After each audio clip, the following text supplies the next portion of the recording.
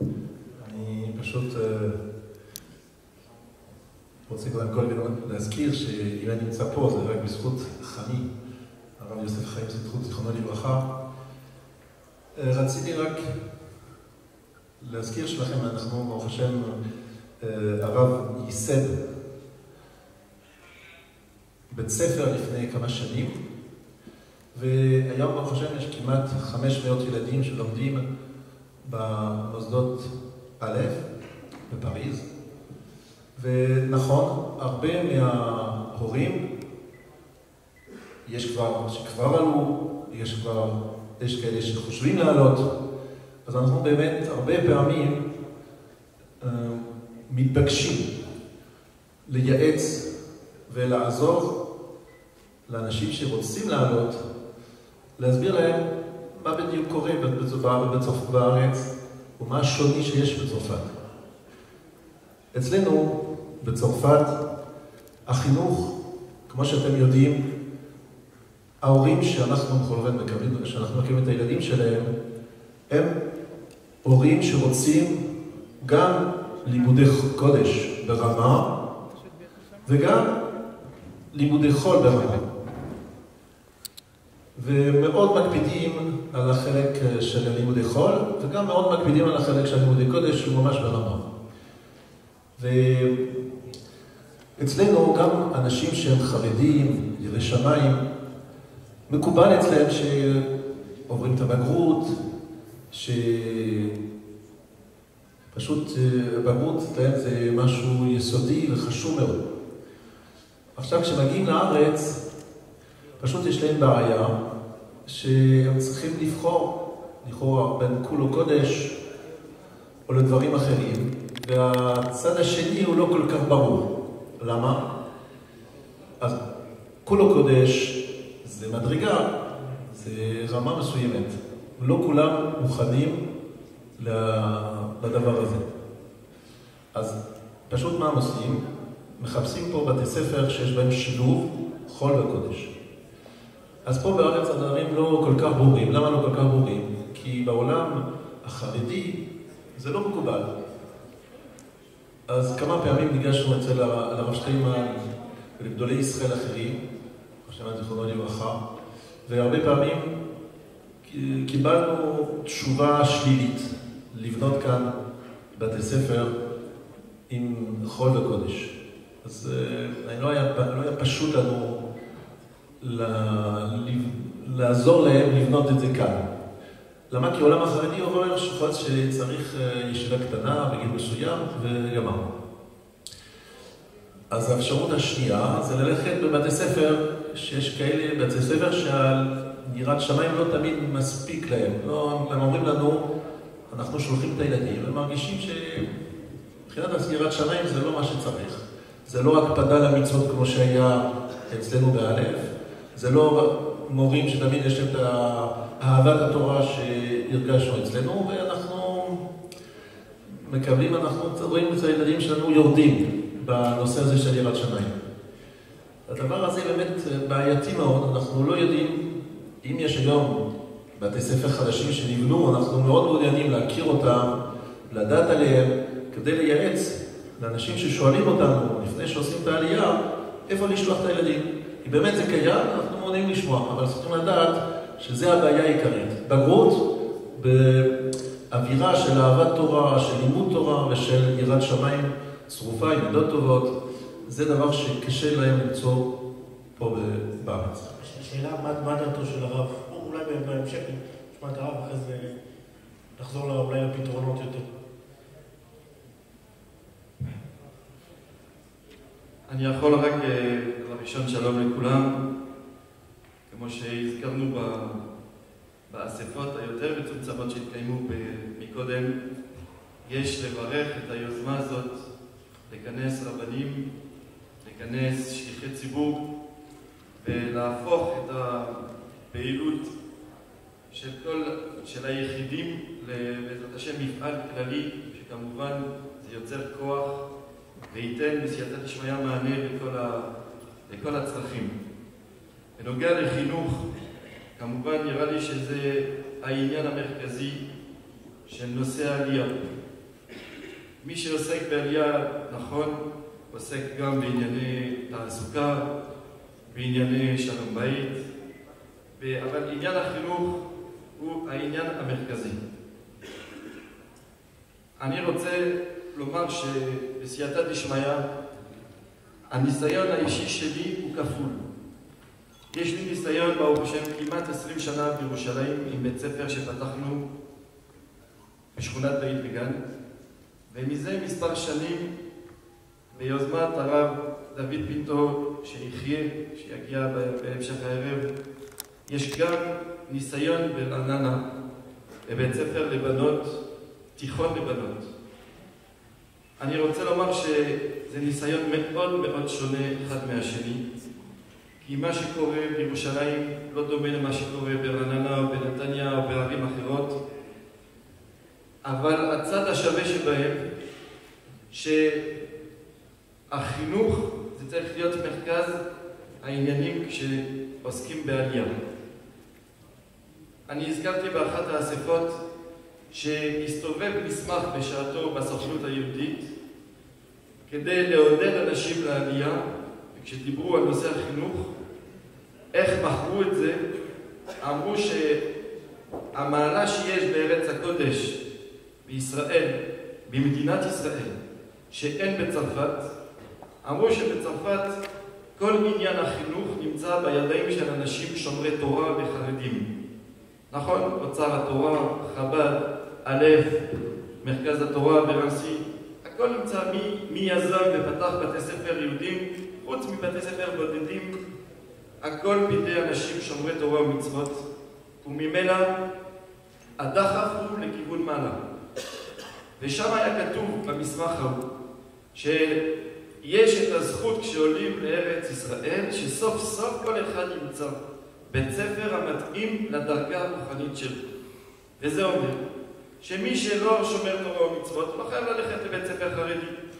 מי שלא שומר שבת יכול למצוא בית ספר לפי הדרגה שלו. אני למדתי ברנסי אצל הרב תולדנות לצה"ל כל השנים. היו בכיתות אצלנו כיתות מעורבות שהיו בחורים שלא שמרו שבת. והיום הם אברכים בבני ברק, והיום הם כבר שליחי ציבור. וצריך לדעת שזה הגישה שהיא גישה הרסנית ומאוד מסוכנת.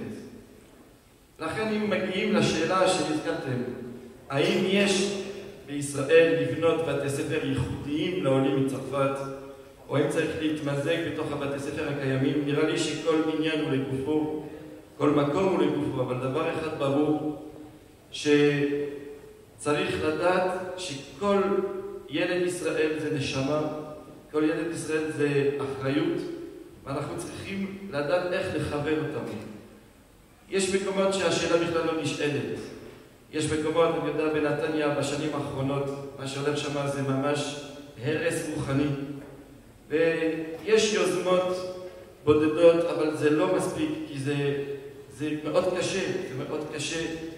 כאחד שפתח בית ספר בירושלים, אני יכול לומר שכל הבירוקרטיה קשה וארוכה, והדברים לא קלים בכלל. אבל צריך לדעת את הסיכון שיש בבתי ספר הקיימים, במיוחד בערי הפריפריה, שבדרך כלל הבתי ספר לא מעלים את התלמידים. יש דאגה אחת ויחידה, שבית ספר יהיה לו מקום, ילד צריך יהיה לו מקום לימודים, שיהיה רשום בתוך מסגרת, ולאחר מכן אין את, ה, את השפה שהילד העולה מצרפת צריך לשמוע, את היחס החמים, את הקשר המיוחד, שברוך השם לכל אורך השנים, מה שנבנה בצרפת, הוא היה עדיין בדרגה הזאת. ולכן כשיש בבתי ספר אפשרות לבנות, בבית ספר קיים, אפשרות לבנות ממש מערכת קצת נפרדת, עם קשר נפרד, מיוחד, לעולים מצרפת, ובעיקר למשפחות, אז אולי, אולי ניתן לשלב ולהתפלל שהדבר יצלח ושהתלמידים ימצאו את עצמם ובעיקר, בעיקר ירצו להמשיך ולעלות. כן, וכש... כן. אז נוכל לשמוע את חברי הבית. אז לכן אני חושב שהעידוד פה הוא לדעת איך אנחנו דואגים בכל מקום שיהיה בית ספר שדוחף לכיוון מעלה. הרב סיטרוק תמיד היה אומר שעלייה זה בעיקר עלייה רוחנית. וכשמגיעה משפחה, ואחרי כמה שנים, זו השאלה שאני תמיד שואל הורים, אם היית נשאר לגור בצרפת, איפה הבן שלך היה היום? יש האומרים בכנות, הבן שלי אולי היה נכנס היום לכל תורו. ואיפה היום הוא נמצא?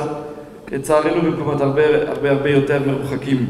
אז זה צריך להיות הדאגה והדיבור של הרבנים כלפי המשפחות והילדים. דבר אחד חשוב, שכל רב ידע כוח ההשפעה שיש לו כשהוא מדבר, וגם אם לפעמים האדם נראה שהוא לא שומע, לא מקשיב, אבל המסר מחלחל, וברוך השם ראינו תהפוכות. תודה רבה הרב. תודה לרבים שהצטרפו אלינו, ואני אציג את השאלה בתחילה נושא הפאנל, רק נחדד את זה יותר. הנושא של החינוך מאוד מכיל, מאוד מציג, מאוד מעסיק את כולם, והשאלה שאנחנו מנסים להבין זה... קודם כל אני רוצה לומר שהאיחור שלנו עכשיו זה בגלל שיצאנו ישר מהעירייה של נתניה, שהאסיפה הישירה שהייתה לנו שם עם סגן ראש העיר זה ניזום על ידי הרב אריה דרעי, שישר מדיבורים עבר למעשה, כאשר ביקשנו ממנו עזרה וסיוע ותמיכה בשביל לבנות שם בית ספר חדש המתאים לצרפתים, אז הוא לא היסס לרגע. אמר שבכל הבחינות הוא מתחייב לעזור ולתמוך בנו. ראש העיר, מגיע לו כל המחיאות כפיים, זה לא יאומן מסופר, כל כמה שהוא תפוס, אנחנו יודעים זה בערב הבחירות, הוא לגמרי השתחרר, הביא את ראשת העיר לפה לירושלים, וברוך השם היא התחייבה לעזור לנו, והיום כבר קיבלנו בשורות טובות בנושא הזה. אז להגיד לכם שבזמן הקצר שזכיתי להיות פה מאז העלייה, הספקתי להסתובב בכמה בתי ספר. בתי ספר שהרבה ילדי צרפת נמצאים שם, אז יש ברוך השם מקומות שפחות או יותר זה קצת דומה, קצת דומה לבתי ספר עממיים בצרפת. אבל אני יכול להגיד לכם שיש גם מקומות שבגלל שהשם דומה, בואו נקרא לזה ככה בפירוש, ממלכתי דתי, המילה דתי מטעה ביותר. כי זה, ברגע ששומעים ממלכתי דתי, חושבים שזה בדיוק מתאים למה שאנחנו רגילים בבתי ספר הרגילים, יותר מסורתיים שיש לנו בצרפת. ששם מעניקים המון המון ערכים של יהדות. ושם התורה והיהדות והמצוות זה דבר חשוב. אבל כאן, לדאבוני, הספקתי לראות שפשוט ילדים מבוגרים לא יודעים כלום מכלום, מכלום, מכל הדברים הבסיסיים של היהדות. והם פשוט עובדי עצות. מדובר בבתי ספר של 1,200 תלמידים, ביניהם אחוזים גדולים של צרפתים. ואין להם שום, שום אמצעי כדי להגיע ללבבות של הילדים האלה ולהשפיע, אני לא יודע אפילו אם ישנה את, ה, אם ישנו את הרצון הזה. בכל אופן, מה שברור שמדובר פה בהצלת נפשות בפיקוח נפש. כמו שאמרו הרבנים, החינוך זה העיקר. הגמרא בבטרה כ"א, ברם זכור אותו האיש לטוב, ויהושע בן גמלה שמו, שאלמלא הוא נשתכחה תורה מישראל. אם אין בתי ספר מתאימים לגילאים ולמה שהילד מסוגל לקבל, ואין פה דאגה להעניק להם את מה שצריך, חס ושלום נגמר הסיפור. רבי חייא כמה גדולים חייא, הולך וזורע גרעינים כדי לעשות רשתות, לצוץ צבעים, כדי לכתוב ספרי תורה, לכתוב משניות, ללמד ילדי ישראל, אטמו אהדדה, אטמו אהדדה. כמה גדולים מעשה חייא, רבנו הקדוש אומר. בלי זה כל, כל התורה שלנו, חס ושלום בסכנה. היום נמצאים בארץ הקודש, רואים עולם תורה עצום שהולך ומתפתח, שאולי לא יודע, אם ימות חזקיה, אם היה זמן כזה כמו הדור שלנו. מאות אלפי בני תורה. אבל מצד שני, החילוניות כל כך גבוהה. אנחנו רואים כמה שהילדים שלנו, זאת אומרת, בני, בנות ישראל שנמצאים בעיירות כמו נתניה, בעיירות כמו תל אביב, כמו מקומות כאלו שקרובים לחוף הים, לעוד דברים, אז היצר הרע מאוד מאוד חזק, ועם האינטרנט ועם כל מה שאנחנו יודעים היום, הניסיונות מעל ומעבר, דברים שילדותינו לא הכרנו. אז בוודאי שהיום יש צורך להשקיע המון המון מאמצים. אז זה בשתי מישורים. המישור הראשון, להציל את העתיד. זאת אומרת, לבנות מסגרות שמתאימות לחינוך שאנחנו יודעים, בני התורה יודעים להחדיר ולהעניק. ערכים אמיתיים. ודבר שני, להציל את הקיים. להיכנס לבתי ספר. רבנים שנמצאים פה יכולים למצוא איזשהו גשר, לחדור לבתי ספר קיימים, ושם פשוט הם שמחים. כשהם רואים כבר תלמידים ותלמידות שמקשיבים, מקשיבות, הם עומדים בפעורי פה, הם לא רגילים לזה, לא רגילים לכבוד, לא רגילים למשמעת, להקשבה. אז אני חושב שבזכות הכינוס הזה, אפשר לברך עליו שהחיינו, זה היום עשה השם לגילה בנזקקנו. שיש התעוררות כזאת למען יהדות צרפת, אז בעזרת השם, שיהיה נס ההצלה ושנוכל לזכות באמת לראות דורות ישרים ומבורכים. תודה רבה רב. אה, הרב שליטה, אנחנו קצת בחריגה מהזמן, אז רב, תן לנו את הסיכום שלו לדברים בנושא של החינוך, ונוכל לעבור לפאנל הנוסף. טוב. תסלחו לי על העברית שלי, שאני התבטא, אולי אני בעצמי עולה חדש. אה, הקדוש ברוך הוא זיכה אותי, שבדיוק אחרי שהגענו לארץ לפני 15 חודשים, נתמניתי על ידי אה, קרן ילדי צרפת להיות רב של בית ספר שלם בנתניה. ומה שאני שמעתי, אז ראיתי. מה ראיתי? ראיתי תלמידים שהגיעו מבתי ספר שהם היו איתי באוצר התורה. ותוך שנה אחת חזותם השתנתה לגמרי. תלמידים שבאו ובכו בהפסקות ואמרו למה ההורים שלנו באו לפה? אנחנו לא עושים כלום. לא בחול ולא בקודש. לא מבינים את מה הם רוצים מאיתנו. הם קוראים להורים שלנו כל יום. ההורים באים לא מבינים מה רוצים מהם. מגיעים לבית, יש שיעורי בית, אנחנו לא יודעים לעשות אותם.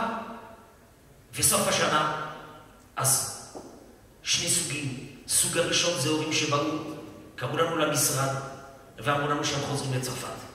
כמה משפחות שחזרו, ואני בעצמי עזרתי להם לחזור לאוצר התורה. החלק השני זה היה החלק הטוב. הלוואי שזה היה ככה. אבל החלק השני, אלו שלקחו את הסיכון הנורא לשלוח אותם לבתי ספר חילונים. ופגשתי אותם לפני חודש עם, אה, איך קוראים לזה? דוקטורי? הגילים. הגילים. אנחנו חיינו אלפי שנים בגולה, ושמרנו את הגחלת הזאת. מה קרה איתנו? שעד היום לא היה זעקה אדירה, עד שאחד מה... לא מהמנהלים, מהצוות, אמר לי, אתם כל כך קשים להגיד את זה. אתם המרוקאים של שנות החמישים. ואחד יותר גרוע אמר לי, זה האתיופים. איך, איך אפשר לשמוע על הילדים שלנו, שאנחנו שלחנו אותם לישיבות קדושות מצרפת, שלחנו אותם לסמינרים, שלחנו אותם אפילו לאלו שרצו ללכת לצבא, ליחידות מובחרות. שהגענו למצב כזה שיגידו עלינו שזה מוקצה בחמת מיוס, בתי ספר בכל הערים בארץ לא מוכנים היום לקבל צרפתים. ואנחנו נשארים ככה במצב הזה, ואנחנו לא יודעים כמה אני מתרגש לראות שהיום הרבנים מצרפת באו, באו לעזור לנו. זעקה איומה, ואני ראיתי, אנחנו רואים את זה בשטח כל יום. ועובדה, ואני מסיים עם זה, ששנה שעברה, ביוזמתנו הפרטית של הקהילה שלנו, החלטנו לפתוח בית ספר. והחינוך העצמאי נתן את כל הגיבוי ואת כל העזרה. באו מממנים פרטים, אבל זה לא הספיק. אבל פרט אחד זעזע אותנו.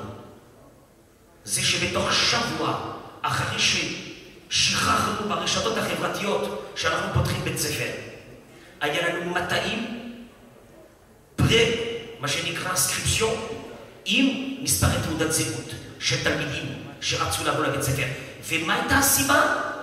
שאמרנו להם שאנחנו נפתח בית ספר בסגנון צרפת. זאת אומרת, עד ארבע, חמש בצהריים. אוי, אוי, עד חמש בצהריים. הילדים שלנו יהיו בחוץ. עד חמש בצהריים הילדים ישבו וילמדו. דבר שלא שמענו פה בארץ. רק בשביל זה הם רצו כבר. זאת אומרת, לא, לא עשה טוב, אבל אסור מרע. הוא כל כך גדול, אסור מרע הזה, שזה, היום זה בכלל לא דבר שצריך לחשוב האם לפתוח או לא לפתוח, ואיך לפתוח. חייבים לפתוח. תודה רבה. תודה רבה, תודה רבה. אנחנו ככה קצת באיחור בגלל שגם התחלנו בכמה דקות. כן. טוב, הרבנים החשובים, אנשי החינוך והמעש, הרב דניאל עבדלחק, הרב אוריאל גיי, הרב אוריאל בג'אווי, ידידי רבי יצחק הכהן, דבר, דבריהם נשמעו ויישמעו במקומות הנכונים, ויהי רצון שכל אשר העלו יעשה.